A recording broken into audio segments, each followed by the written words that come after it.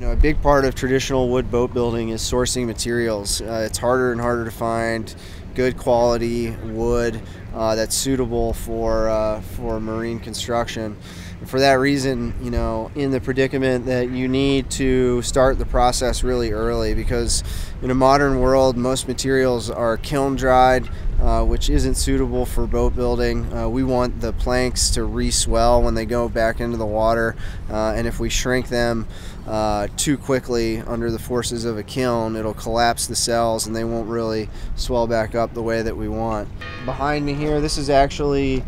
all of the all of the fasteners for both the futtocks uh, to make the frames and all of the planks to the frames is all pegs or tree nails. And a lot of that stock we mill up and we have seasoning in this little solar kiln right here. You know it's something that you never really think about is like what